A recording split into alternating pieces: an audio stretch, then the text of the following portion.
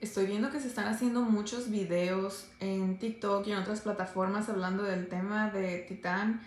Mucha gente que no conoce de el tema subacuático, de cómo se operan submarinos, nada de eso. Eh, hay mucha gente que no sabe y solo están repitiendo lo que los medios dicen. Y los medios están manejando la noticia de una manera muy amarillista.